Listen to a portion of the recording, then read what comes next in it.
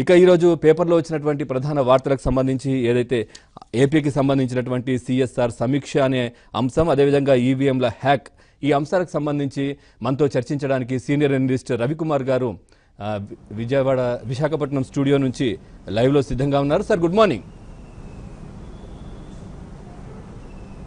Very good morning అండి. Yeah sir ఇక్కడ రాజమండ్రిలో కొంతమంది పబ్లిక్ ఉన్నారు వాళ్ళ అభిప్రాయాన్ని వ్యక్తం చేయడానికి మా కరెస్పాండెంట్ రాజబాబు కూడా అక్కడ సిద్ధంగా ఉన్నారు. ముందుగా వాళ్ళ అభిప్రాయం తెలుసుకుందాం ఏమనుకుంటున్నారు దీనికి సం- చర్చకు తిరిగి స్వాగతం రవికుమార్ గారు.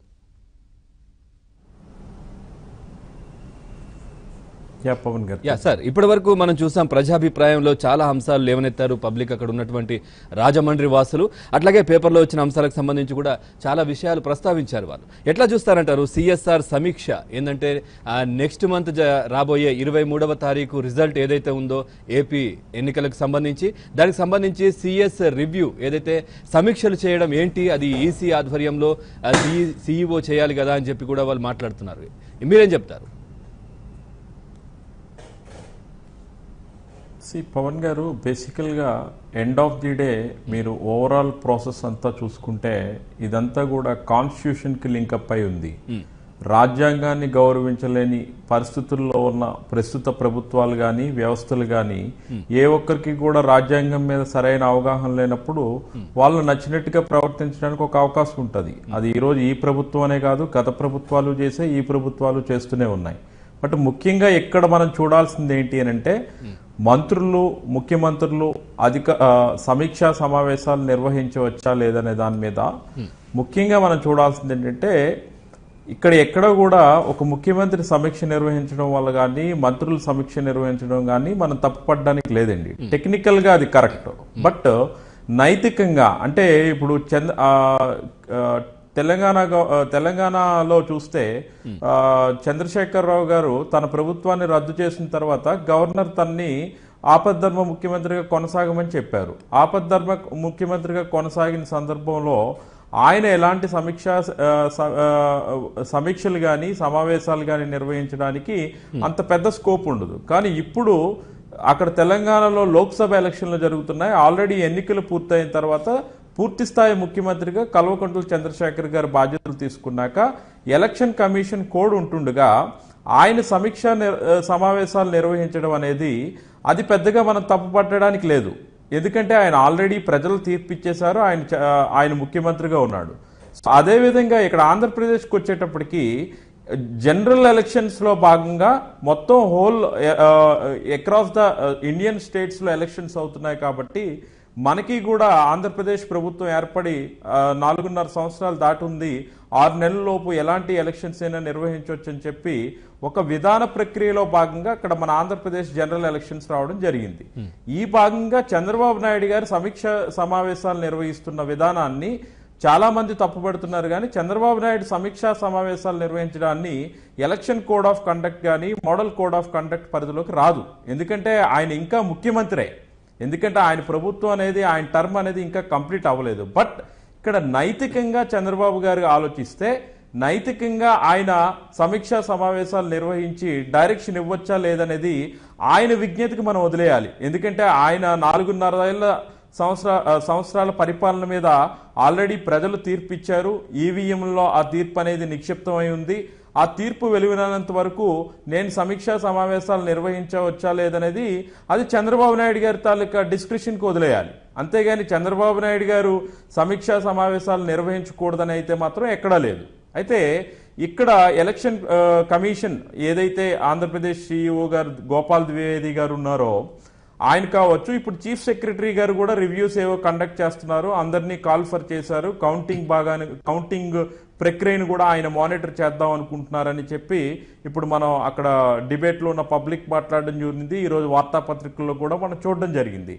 బట్ ఇక్కడ మనం గమనించాల్సిన విషయం ఏంటంటే AP election commission CEO Gopalakrishna Dwivedi garu chief సెక్రటరీని కూడా కాల్ఫర్ చేసి ఎందుకంటే ప్రభుత్వ యంత్రాంగం అంతా కూడా ఎలక్షన్ కమిషన్లో భాగమే. ఎలక్షన్ కమిషన్ కంటూ సెపరేట్ ప్రభుత్వ యంత్రాంగం ఏమీ ఉండదు కాబట్టి ప్రభుత్వ యంత్రాంగంలో ఉన్న అధికారులు కావచ్చు కలెక్టర్లు కావచ్చు ఎస్పీలు కావచ్చు ఎవరినైనా కావచ్చు ప్రభుత్వంలో ఉన్న వ్యవస్థలో ఉన్న ముఖ్య వ్యక్తులందరినీ కూడా మాట్లాడి రివ్యూ కండక్ట్ చేయడం అనేది జనరల్ ప్రాసెస్.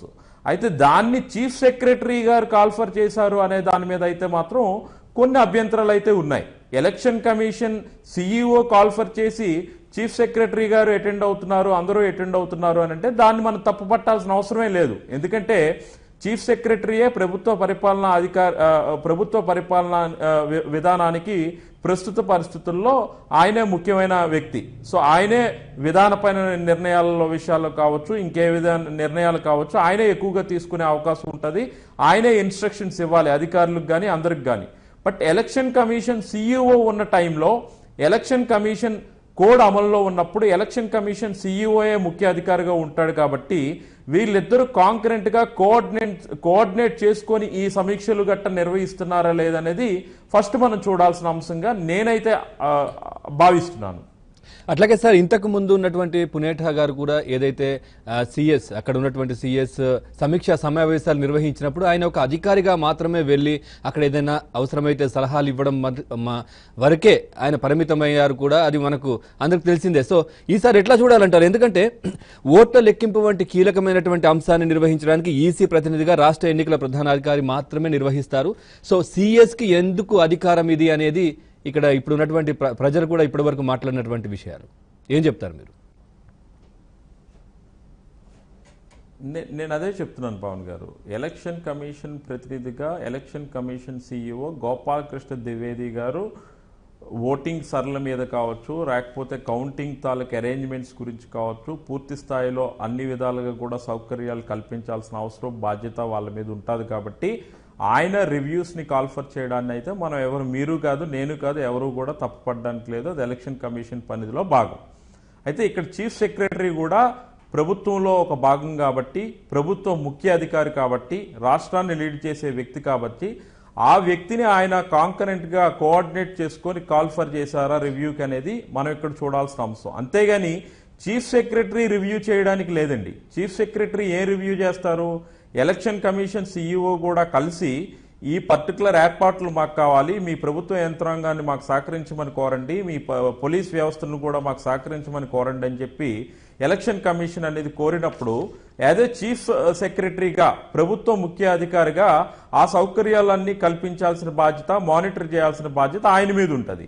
ఆ భాగంగా ఆయన ఏమైనా రివ్యూలో పార్టిసిపేట్ చేస్తే మనం తప్పుపడడానికి లేదు. బట్ ఆయనే రివ్యూకి కాల్ఫర్ చేసి ఆయన ఎలక్షన్ కమిషన్ రివ్యూకి ఆయన పిలవట్లేదు కదా ఇక్కడ. మనం చూడాల్సిన అంశం ఏంటి అని అంటే ఎలక్షన్ కమిషన్ చీఫ్ సెక్రటరీని ఇన్వాల్వ్ చేసి రివ్యూ కండక్ట్ చేస్తుందా? చీఫ్ సెక్రటరీనే ఎలక్షన్ కమిషన్ సీఈఓని పిలిచి రివ్యూ కాల్ఫర్ చేస్తున్నారా? ఎలక్షన్ ప్రాసెస్ను అబ్జర్వ్ చేయడానికి కౌంటింగ్ ఏర్పాట్ల మీద చర్చలు జరపడానికి సలహాలు సూచనలు ఇవ్వడానికి అనేది ఇక్కడ మనం చూడాల్సిన అంశం. అయితే ఎల్వి సుబ్రహ్మణ్యం గారు తనకు తానుగా ఈ రివ్యూని కండక్ట్ చేస్తారు అని అంటే మాత్రం అది అందరూ తప్పు పట్టాల్సిన అంశమే. ఎందుకంటే ఆయన ఎలా రివ్యూ చేస్తారు? ఏపీ ఎలక్షన్ సీఈఓ ఉంటుండగా. అట్లాగే స్వయం ప్రతిపత్తి కలిగినటువంటి సంస్థలన్నిటినీ కేంద్రం అధికారం లోకి తీసుకుంటోంది ఆధీనంలోకి తీసుకుంటోంది. ఇందులో భాగంగానే ఈసీని కూడా ఇప్పుడు వాడుకుంటుంది అని చెప్పి ఇందాక ప్రజలు కూడా మాట్లాడడం జరిగింది. ఎన్నికల్లో ఇప్పుడు ఈసీ ఘోరంగా విఫలమైందని చాలా మంది అనుకుంటున్నారు కానీ ఈసీ సక్సెస్ అయిందని కూడా వాళ్ళు చెప్తున్నారు. ఎందుకంటే ఈ ఓటింగ్ సమయంలో ఆలస్యం కావడం ఇవన్నీ వాళ్ళ ప్లాన్లో భాగంగానే. అదేవిధంగా ఇప్పుడు సిఎస్తో పాటు సిఎస్ను కూడా ఏదైతే ఈ కౌంటింగ్కి సంబంధించి అంటే ఫస్ట్ ఫేజ్లో ఎలక్షన్స్ టైంలో విఫలమయ్యారు. కౌంటింగ్ సమయంలో ఏదైతే కౌంటింగ్ టైంలో సిఎస్ను వాడుకొని ప్రతిపక్షానికి మేలు చేసే విధంగా కేంద్రం పావులు కదుపుతోందనే మాటలు కూడా ఇందాక పబ్లిక్ మాట్లాడడం జరిగింది. సి కాన్స్టిట్యూషనల్ స్పిరిట్ని కంటిన్యూ చేయాలనుకునే ఏ ప్రభుత్వాలు కూడా ఏంటంటే స్వయం ప్రతిపత్తి సంస్థలైనటువంటి ఈరోజు ఎలక్షన్ కమిషన్ కావచ్చు మనం గతంలో చూసాం సిబి కా సిబిఐని కావచ్చు ఈడీని కావచ్చు ఎలా అధికారంలో ఉన్న పార్టీలు వాడుకుంటాయనేది అందరికీ తెలిసిన విషయమే. ఈరోజు మనం ఎలక్షన్ కమిషన్ తాలూకా మోడల్ కోడ్ ఆఫ్ కండక్ట్ అనో లేకపోతే ఈసీ కోడ్ అని చెప్పో గలం విప్పి చాలామంది మేధావులు మాట్లాడుతున్నారు రాజకీయ పక్షాలు మాట్లాడుతున్నారు. బట్ ఎలక్షన్ కమిషన్ ఇచ్చిన గైడ్ లైన్స్ ప్రకారం ఒక ఓటర్కి డబ్బు పంచకూడదు మతపరమైన కులపరమైన మీటింగులు పెట్టకూడదు. ఇవన్నీ మనం ఫాలో అవుతున్నామా అని అంటే ఏ ఒక్క రాజకీయ పార్టీ కూడా గుండెల మీద చేసుకొని చెప్పలేదు. మేము ఇది ఫాలో అయ్యాము మేము ఈ విధంగా చేసామని చెప్పి. అంటే ఎక్కడికక్కడ కాన్స్టిట్యూషనల్ వైలెన్స్ వైలేషన్స్ ఎక్కువగా జరుగుతున్నాయి. ఈ వైలేషన్స్ అనేది ఈరోజు కొత్త కాదు. సో ఈరోజు కేంద్రంలో ఉన్న ప్రభుత్వం అనేది తనకు అనుకూలంగా ఈసీని వాడుకుంటుంది అని చెప్పి చాలామంది మాట్లాడుతూ ఉన్నారు. సో అది ఎంతవరకు ఉంటుంది అని అంటే ఖచ్చితంగా అధికారంలో ఉన్న పార్టీ అధికారంలో ఉన్న పార్టీకి అనుకూలంగా స్వయం ప్రతిపత్త సంస్థలు అనేవి సహకరిస్తూ ఉంటాయనేది నర్మగర్భం నర్మగర్భం. దాన్ని ఎవరు కూడా ఎవరు సహకరించట్లేదు అనడానికి లేదు. ఎందుకంటే గత యూపీఏ టైం నుండి కూడా మనం చూసుకుంటూ ఉంటే గత డెబ్బై రెండేళ్ళ మన స్వాతంత్రం వచ్చిన స్వాతంత్రం వచ్చిన తర్వాత కూడా మనం మనల్ని దేశాన్ని పరిపాలించిన రాష్ట్రాన్ని పరిపాలించిన రాజకీయ పార్టీలన్నీ చూసుకుంటే ఏదో ఒక సందర్భంలో ఈ ఇన్స్టిట్యూషనల్ బాడీస్ అనేవి వాడుకోవడం అనేది జరిగింది. తమ స్వార్థ ప్రయోజనాల కోసమా రాజకీయ ప్రయోజనాల కోసం అనేది ఆ- ఆ సమయం సందర్భం బట్టి ఉంటుంది. బట్ ఇక్కడ మనం చూడాల్సింది ఏంటి అని అంటే ఈవీఎంఎల్ని డిలే అవ్వడం కానీ లేకపోతే ఇవన్నీ కావచ్చు టెక్నికల్ ప్రాసెస్లో భాగంగానే చూడాలి. సో అయితే ఈ టెక్నికల్ ప్రాసెస్లో భాగంగా చూసేటప్పుడు ఎలక్షన్ కమిషన్ పూర్తి స్థాయిలో ఎందుకు ఏర్పాట్లు చేయలేకపోతుంది? దీంట్లో ఏమైనా కుట్రలు దాగున్నాయా? లేకపోతే ఒకరికి ఓటు నొక్కితే ఇంకొకరికి పడుతుంది అని చెప్పి మనం అంటున్నాము. కొత్తగా వీవీప్యాట్లు అనే తీసుకోవడం రావడం జరిగింది. గతంలో ఇదే ప్రతిపక్షాలు కానీ ఇదే అధికార పక్షాలు కానీ గతంలో కూడా ఈవీఎంఎల్ ద్వారానే ఎన్నుకోబడిన సందర్భాలు కూడా ఉన్నాయి. ఆ రోజు లేని అభ్యంతరాలు ఈ రోజే ఎందుకు వచ్చాయి? సో ఆ రోజు గెలిచినప్పుడు అదే ఈవీఎంలు సక్రమంగా పనిచేసాయని చెప్తున్న మనం ఈరోజు ఈవీఎంలు ఎందుకు సక్రమంగా పనిచేయట్లేదు అని చెప్పి ఆరోపిస్తున్నాం అనే దాని మీద కూడా పూర్తి స్థాయి క్లారిటీ ఇవ్వాల్సిన అవసరం అయితే ఉంటుంది. రెండోది ఈవీఎంలని హ్యాక్ చేస్తున్నారు. ఈవీఎంల ద్వారా బీజేపీ ఒక కుట్రకు పాల్పడుతుంది అనే అంశం అనేది దేశం మొత్తం మీద ఒక చర్చకు దారితీస్తున్నారు నిజంగా ఈవీఎంఎల్ని హ్యాక్ చేయడం అనేది సాధ్యమా కాదనే విషయం అనేది అందరికీ గతంలో కూడా మనం చాలా ఆరోపణలు వచ్చినాయి ఈవీఎంస్ మీద. వాటి మీద చాలామంది ప్రయత్నం కూడా చేశారు. ఎలక్షన్ పక్క పక్షాలన్నింటినీ కూడా చూస్తే ఏ ఒక్క రాజకీయ పక్షం చూస్తే ఏ ఒక్క రాజకీయ పక్షం కూడా వెళ్ళలేదు. ఆప్ అనే ఆమ్ ఆద్మీ పార్టీ వాళ్ళు కూడా వెళ్ళారు. సిపిఐ వాళ్ళు వెళ్ళి జస్ట్ మానిటర్ చేసి రావడమే జరిగింది తప్ప ఎక్కడ కూడా మేము హ్యాక్ చేసి చూపిస్తామని చెప్పట్లా. అదే ఈవీఎంని లండన్లో హ్యాక్ చేస్తారు అమెరికాలో హ్యాక్ చేస్తారు ఇంకెక్కడైనా బయట హ్యాక్ చేస్తారు. మనం తెలుసుకోవాల్సిన అంశం ఏంటి అని అంటే ఈవీఎంలని హ్యాక్ చేయడం అనేది అంత సాధ్యం కాదండి. ఎందుకంటే మనం అనుకోవచ్చు ఏదో ఇది సాఫ్ట్వేర్ ఎలక్ట్రానిక్ డివైజెస్ ప్రతిదాన్ని కూడా హ్యాక్ చేయొచ్చు అని అంటే మీరు ప్రతి ఈవీఎం కూడా వాళ్ళ ఎలక్షన్ కమిషన్ ఆఫ్ ఇండియా పర్వ్యూలోకి వచ్చేటప్పుడు ఆ గుడౌన్ నుండి వచ్చేటప్పటికి దానికి ఒక సీల్ వేస్తారు. ఆ కోడ్ అనేది ఉంటుంది. ఆ కోడ్ అనేది ఏంటంటే ఆ కోడ్ని బట్టి ఆ ఈవీఎంలు అనే వాటిని ఎలకేట్ చేస్తారు. ఆల్రెడీ దాంట్లో సాఫ్ట్వేర్ కానీ మిగతావన్నీ కూడా ఆల్రెడీ ఇంక్లూడెడ్ అయి ఉంటాయి లోడెడ్ అయి ఉంటాయి. వాటిని బయటికి తీసుకొచ్చిన తర్వాత మీరు హ్యాక్ చేసే పాజిబిలిటీ ఉంటుందే కానీ ఆ పర్టికులర్ కోడ్ ఉన్నంత వరకు ఆ పర్టికులర్ ఈవీఎం మెషిన్ ఇది ఆల్రెడీ ప్రూవ్ అయ్యింది ఎలక్షన్ కమిషన్ ఆఫ్ ఇండియా కూడా చాలా సార్లు కాల్ఫర్ చేసింది మీరు ప్రూవ్ చేయటం చెప్పినప్పుడు కూడా ఇదే రాజకీయ రాజకీయ పక్షాలు ఆ రోజు ప్రూవ్ చేసిన ఈ రోజు ఈవీఎం హ్యాక్ అవుతాయని ప్రూవ్ చేయడంలో ఎలాంటి సాంక్టిటీ లేదనేది నా తాలూకు అభిప్రాయం రైట్ ఓకే రవికుమార్ గారు ఇప్పుడు ఒక చిన్న విరా అమెరికా అధ్యక్ష ఎన్నికల్లో రష్యా హస్తం ఉన్నట్లు ఆరోపణలు వచ్చాయి. ఈవీఎం ట్యాంపరింగ్కు సంబంధించి అని చెప్పి ఆయన మాట్లాడడం జరిగింది. అదేవిధంగా భారత్లో కూడా అలాంటి ప్రయత్నాలు జరిగే అవకాశాలు ఉన్నాయి. చాలా మంది కొన్ని కోట్లు తీసుకొని ఈ పని చేయడానికి సిద్ధంగా ఉన్నారు అని కూడా ఆయన మాట్లాడడం జరిగింది. ఏం చెప్తారు? నేను ఇందాక చెప్పింది అదే పవన్ గారు. సో చంద్రబాబు నాయుడు గారు లాంటి సీనియర్ రాజకీయ నాయకుడు సీనియర్ రాజకీయ నాయకుడు మూడు మూడు సార్లు ముఖ్యమంత్రిగా చేసి ప్రతిపక్ష నాయకుడిగా చేసిన అనుభవం ఉన్న వ్యక్తి ఒక అంశం మీద మాట్లాడేటప్పుడు అది దేశవ్యాప్తంగా చర్చ చేయడానికి అవకాశం ఉంటుంది. అయితే ఈవీఎంలని హ్యాక్ చేసే విధానం అనేది రష్యన్స్ పాత్ర ఉందా లేకపోతే జర్మన్స్ పాత్ర ఉందా ఇంకేదైనా పాత్ర ఉందా అని ముందుగా మనం క్లెయిమ్ చేసేటప్పుడు ఇదే ఈవీఎంల మీద రెండు వేల నాలుగులో రెండు వేల తొమ్మిదిలో యూపీఏ గెలిచింది. సో ఇదే ఈవీఎంల మీద బీజేపీ గెలిచింది. ఇదే ఈవీఎంల మీద మన టీడీపీ కూడా గెలిచింది చాలా సందర్భాల్లో. సో ఆ రోజు లేని అనుమానాలు ఈ రోజు రావడానికి గల కారణాలు ఏంటి అది నిజంగా మోడీ బీజేపీ గవర్నమెంట్ ఏమైనా కుట్ర పన్నిందా లేదా అనే అంశం మీద ఒక ప్రశ్నకి ఒక ఒక సరికొత్త ఏమంటారంటే అనుమానాన్ని రేకించే రేకెచ్చించే విధానాన్ని ఈరోజు మన ముందు కనిపిస్తూ ఉంది. సో దీనికి ఎలక్షన్ కమిషన్ ఆఫ్ ఇండియా ఏంటి అని అంటే ఆల్రెడీ గతంలో కాల్ఫర్ చేసింది ఎస్ మీరు ఎవరైనా అనుమానాలు ఉంటే ఈవీఎంని హ్యాక్ చేయగలను హ్యాక్ చేసి చూపిస్తాను అని అంటే ఎలక్షన్ కమిషన్ ఆఫ్ ఇండియా ఆఫీస్లోనే పెట్టి అన్ని రాజకీయ పక్షాలను పిలిచినా కూడా ఆ రోజు ఏ రాజకీయ పక్షాలు కూడా స్పందించలేదు. బట్ ఈ రోజు ఇంకా బలమైన బలమైన ఆరోపణలు వస్తున్న ఈ సందర్భంలో నిజంగా ఈవీఎంల తాలూకు ఉనికే ప్రశ్నార్థకం అనుకునేటప్పుడు ఖచ్చితంగా ఈవీఎంలకు సంబంధించిన అంశాల మీద ఎలాంటి అనుమానాలు ఏమైనా ఉంటే నివృత్తి చేయాల్సిన బాధ్యత ఎలక్షన్ కమిషన్ మీద ఉంది. ఆ ఈ వీవీప్యాట్లను లెక్కించే అంశం మీదకి వచ్చేటప్పటికి గతంలో మనకి బ్యాలెట్ విధానంలో చూసేటప్పుడు అది మాన్యువల్ ప్రాసెస్లో ఉండేది. ఎన్ని ఓట్లు ఎవరికి పడ్డాయి అనేది లెక్కించే విధానం అనేది ఉండేది. సో ఇప్పుడు ఈ వీవీప్యాట్లు వచ్చేటప్పటికి కూడా వీవీప్యాట్లను లెక్కిస్తున్నాము అని అంటే ఒక విధంగా బ్యాలెట్ విధానంలానే అది చూడొచ్చు. ఎందుకంటే మీరు ఎవరికి ఓటేశారనేది వీవీప్యాట్లో ఉంటుంది కాబట్టి అది లెక్కించే క్రమంలో ఏంటంటే ఏ పార్టీకి ఎన్ని ఓట్లు వచ్చినాయి ఎవరికి ఎక్కడెక్కడ ఓట్లు వచ్చినాయి అనే విషయం కూడా తెలుసుకోవడం చాలా ఈజీగా ఉంటుంది.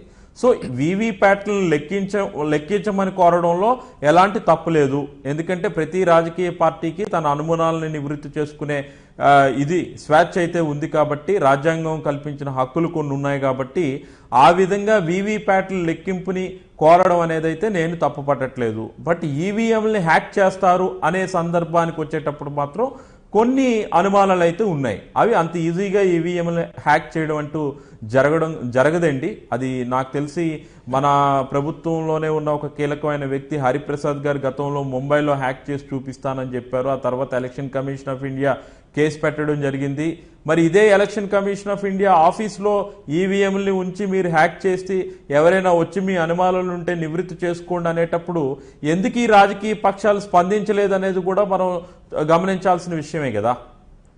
అట్లాగే రవికుమార్ గారు మీరు అన్నారు చంద్రబాబు నాయుడు టెక్నాలజీని చాలా ప్రోత్సహిస్తుంటారు. ఆయన ముందు నుంచి కూడా ఈ టెక్నాలజీకి చాలా ఇంపార్టెన్స్ ఇస్తుంటారని కూడా మీరు చెప్తున్నారు సో ఎందుకు ఈ ఈవీఎంలను వద్దంటున్నారు అంటున్నారు కానీ గతంలో జరిగిన దానికి భిన్నంగా ఈసారి మనం చూడొచ్చు చాలా గంటల తరబడి ఈవీఎం మిషన్లు మొరాయించడం మనం చూసాము అదేవిధంగా వీవీప్యాట్ స్లిప్పులు కూడా ఏడు సెకండ్లు మనకు కనిపించాలి కానీ చాలామందికి మూడు సెకండ్లే కనిపించి అవి వెళ్ళిపోయాయి. మేము చూసే అంత టైంలో కూడా అక్కడ లేదు. మరి ఇది ఎట్లా జరిగింది అని చెప్పి కూడా వాళ్ళు సందేహం వ్యక్తం చేశారు ఇందాక ప్రజలు కూడా. నేను అదే అంటున్నానండి. చంద్రబాబు నాయుడు గారు లాంటి సీనియర్ రాజకీయ నాయకుడు చేసే ఆరోపణలు అనేవి ఖచ్చితంగా కొంత ప్రభావాన్ని చూపించే అవకాశం అనేది ఖచ్చితంగా ఉంటుంది. ఎవరు దీన్ని కాదనలేం. బట్ ఒక ఐటీని ఎక్కువగా ప్రోత్సహించే ముఖ్యమంత్రుల్లో దేశంలోనే ప్రప్రథమంగా ఉండే చంద్రబాబు నాయుడు గారు ఈవీఎంని హ్యాక్ చేయగలరు అనే అంశానికి వచ్చేటప్పటికి సో పూర్తి స్థాయి క్లారిటీ ఇస్తే బాగుంటుంది అనేది మా తాలూకు ఆలోచన. అదే అంటున్నా నేను. ఎలక్షన్ కమిషన్ ఆఫ్ ఇండియా ఒక సీనియర్ రాజకీయ నాయకులు అన్ని రాజకీయ పక్షాలు కూడా మూకుమ్మడిగా ఈవీఎంల మీద అనుమానాలు ఉన్నాయని చెప్తునేటప్పుడు ఎలక్షన్ కమిషన్ ఆఫ్ ఇండియా ఇంకొకసారి కూడా కాల్ఫర్ చేసి ఎవరికైనా అనుమానాలు ఉంటే నివృత్తి చేయాల్సిన అంశం అయితే క్లియర్గా ఉంది. ఈవీఎంలని ఒక లాస్ట్ టైం కూడా మనం చూసాం. మన ఆంధ్రప్రదేశ్లో పోలింగ్ జరిగేటప్పుడు కూడా మొదటి రెండు మూడు గంటల్లో ఈవీఎంలు పనిచేయట్లేదు అనే అంశం అనేది చాలా ఎక్కువగా మనం టీవీ ఛానల్స్లో చూసాం. ఆ రోజు పోలింగ్ రోజును చూసాం. అయితే ఈ ఈవీఎంలు ఈ రెండు మూడు గంటల్లో పనిచేయట్లేదు అనే అంశం అనేది నిజంగా టెక్నికల్ గ్రౌండ్స్లో ఫెయిల్ అవుతున్నాయా? లేకపోతే పూర్తి స్థాయి ట్రైనింగ్ ఇవ్వలేకపోవడం వల్ల పూర్తి స్థాయి హ్యూమన్ రిసోర్సెస్ మేనేజ్మెంట్ లేకపోవడం వల్ల ఆ ఈవీఎంలని సాంకేతికత ఆధారంగా రన్ చేసేంత అవగాహన అక్కడున్న పంపించిన పోలింగ్ అధికారులకు కావచ్చు శిక్షకులకు కావచ్చు లేకపోవడం వల్ల అనుమానాలు జరుగుతున్నాయనే విషయాన్ని అయితే మాత్రం పూర్తి స్థాయిలో మనం అధ్యయనం చేయాలి. ఎందుకంటే ఇది ఒక విధంగా ప్రజలకు అసౌ అసౌక్యం కలిగించే అంశమే. రాత్రిపూట పదకొండు పన్నెండింటి వరకు క్యూల్లో నిలబడి ఓట్లేసేంత పరిస్థితి కల్పించింది అంటే ఈసీ ఖచ్చితంగా ఏర్పాట్లు చేయడంలో విఫలమైందని అయితే చెప్పడానికైతే అవకాశాలు ఖచ్చితంగా ఉన్నాయి. బట్ ఈవీఎంలు హ్యాక్ చేసి ఈవీఎంలని ట్యాంపర్ చేస్తున్నారు ఈవీఎంలు హ్యాక్ చేస్తున్నారు ఈవీఎంలు దుర్వినియోగం చేస్తున్నారు అనే అంశానికి మీద మాత్రం నాకైతే పూర్తి స్థాయిగా అలా అని అనిపించట్లేదు. ఎందుకంటే అది అంత సాధ్యం కూడా కాదనే అంశం అనేది గతంలోనూ చెప్పాను ఇప్పుడు కూడా నేను చెప్తున్నాను. అంటే రవికుమార్ గారు ఏడు సెకండ్లు కనిపించాల్సినటువంటి వివి ప్యాట్లోని స్లిప్ మూడు సెకండ్లే కనిపించి వెళ్ళడాన్ని ఎట్లా అంటారు మరి? సో సాంకేతిక లోపం అంటే ప్రెస్ చేయడంలో వల్ల అదే లోపం. జరిగి అలా అలాంటి- లేదు కదా. నేను అనేది అదేనండి.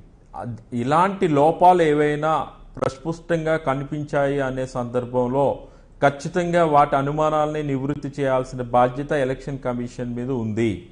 సో నేను అనేది ఏంటి అంటే మీరు ఇప్పుడు చెప్పినట్టు ఏడు సెకండ్లు కనిపించాల్సిన ఈ ఈ వీవీప్యాట్ స్లిప్ మూడు సెకండ్లే కనిపించ కనిపిస్తుంది అని అంటే something there is an wrong in the technical evaluation ఆ టెక్నికల్ ప్రాసెస్లో తప్పులు జరిగినాయా? లేకపోతే ఇంటెన్షనల్గానే తప్పులు చేస్తున్నారా? ఏంటి అనే అంశాల మీద అయితే ప్రజలకైనా వీళ్ళు చెప్పాల్సిన బాధ్యత ఉంది. రాజకీయ పార్టీలు కోరాయని కాకుండా ప్రజలే అసౌక్య అసౌకర్యానికి గురైనప్పుడు ప్రజల తాలూకు అనుమానాలను నివృత్తి చేయాల్సిన బాధ్యత కూడా ఎలక్షన్ కమిషన్ ఆఫ్ ఇండియాకు ఉంది.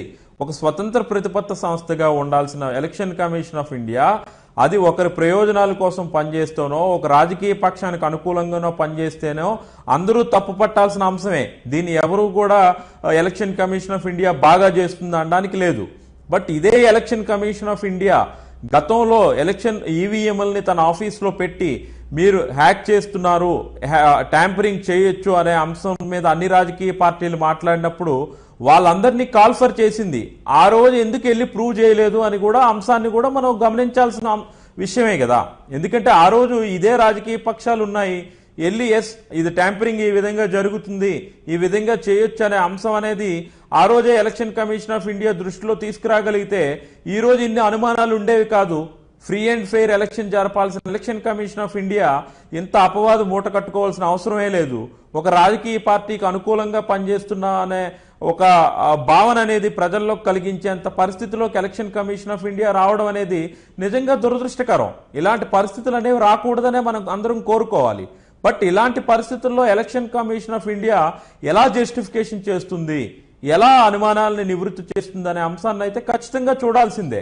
ఎందుకంటే ఆ వీవీప్యాట్లని ఇప్పుడు మీరు చెప్పినట్టుగా ఏడు సెకండ్లు కనిపించకుండా మూడు సెకండ్లే కనిపిస్తున్నాయి. ఇంటెన్షనల్గా పర్టికులర్ నియోజకవర్గాల్లో ముప్పై పర్సెంట్ ఈవీఎంలు రెండు మూడు గంటల పాటు పనిచేయకపోవడం ఇలాంటి అంశాలు అనేవి నిజంగా కొంత ఇబ్బంది కలిగించే అంశాలే. అది పూర్తి స్థాయిలో మనం కొట్టేయడానికి కూడా ఏం లేదు. అయితే ఇవి ఏ విధంగా జరుగుతున్నాయి? దీని మీద కూడా ఎంక్వైరీ చేయాల్సిన అవసరం ఉంటుంది. ఇన్ కేస్ ఈ ఈవీఎంస్ని మాల్ ఫంక్షనింగ్ కోసం వాడుకుంటున్నారా లేదనేది తెలియాలి అనుకుంటే బట్ హ్యాక్ చేయడం ట్యాంపర్ చేయడం అనేంటి అంశాల మీద మాత్రం పూర్తి స్థాయిగా నేను కొట్టేస్తానండి ఆ అంశాల మీద. ఎందుకంటే హ్యాక్ చేయడం ట్యాంపర్ చేయడం అనేది అంత పాజిబుల్ ఏం కాదు. మీరు ఎలక్షన్ కమిషన్ ఆఫ్ ఇండియా కస్టోడియన్లో ఉండేటప్పుడు ఒక ఈవీఎంని హ్యాక్ చేయడం కానీ ట్యాంపర్ చేయడం కానీ కష్టం అవుతుంది అదే ఈవీఎంని మీరు బయటకు తీసుకొచ్చిన తర్వాత మీకు నచ్చినట్టుగా కోడ్ రాసుకోవచ్చు మీకు నచ్చినట్టుగా సాఫ్ట్వేర్ డిజైన్ చేసుకోవచ్చు. బికాజ్ ఇదంతా ఏమి రాకెట్ సైన్స్ ఏం కాదు. మన ఇంట్లో ఉండి రిమోట్తో మన ఫ్యాన్లని ఏసీల్ని కంట్రోల్ చేయగలిగే ప్రపంచంలో ఉన్నాం జనరేషన్లో మనం ఉన్నాం. ఒక ఈవీఎంని కంట్రోల్ చేయలేమనంటే చేయొచ్చు చెయ్యొచ్చు. Yes there is a possibility but due ప్రొసీజర్లో election commission of India కస్టోడియన్లో ఉన్న ఈవీఎంలు ఎక్కడి నుండి ఏ లొకేషన్కి వెళ్తున్నాయి? ఏ లొకేషన్ నుండి పోలింగ్ బూత్కి తీసుకెళ్తున్నారు ఆ ఎలక్షన్ కమిషన్ ఆఫ్ ఇండియా ఆ ఈవీఎంలకు ఒక ట్యాగ్ ఇస్తుంది. ఆ ట్యాగ్ అనేది ఒక కోడ్తో ఉంటుంది. ఆ ట్యాగ్ని ఆ కోడ్ని ఏ కోడ్ నెంబరు ఏ ట్యాగ్ అనేది ఏ పోలింగ్ బూత్కి వెళ్తుంది ఏంటి అనేది కనుక్కోవడం అనేది చాలా ఇంపాసిబుల్ థింగ్ అది. ఒక ఈవీఎంలో రెండు ఈవీఎంలో మూడు ఈవీఎంలో మనం మేనేజ్ చేయొచ్చు కానీ అక్రాస్ ది స్టేట్లో అక్రాస్ ది కంట్రీలో ఉన్న అన్ని ఈవీఎంని మేనేజ్ చేస్తే అసలు మనకి ఎలక్షన్లో ఎందుకు? రాష్ట్రం మొత్తం మీద ఒకే పార్టీ రావాలి దేశం మొత్తం మీద ఒకే పార్టీ రావాలి కదా? రైట్ థ్యాంక్ యూ రవికుమార్ గారు. అట్లాగే పాశ్చాత్య దేశాల్లో ఈవీఎంలు కూడా చాలా వరకు బ్యాన్ చేశారు. బ్యాలెట్ పేపర్లతోనే అక్కడ ఎలక్షన్స్ కూడా జరుపుతున్నారు. ఇదే విధంగా ఇక్కడ జరిపితే బాగుంటుందని కూడా అధికార పక్షం అదేవిధంగా చాలామంది రాజకీయ నాయకులు కూడా మాట్లాడుతున్నారు. Thank you very much thank you very much sir ఈ రోజు పేపర్లో వచ్చినటువంటి అంశాలకు సంబంధించి అట్లాగే రాజమండ్రి ప్రజల అభిప్రాయానికి సంబంధించి చాలా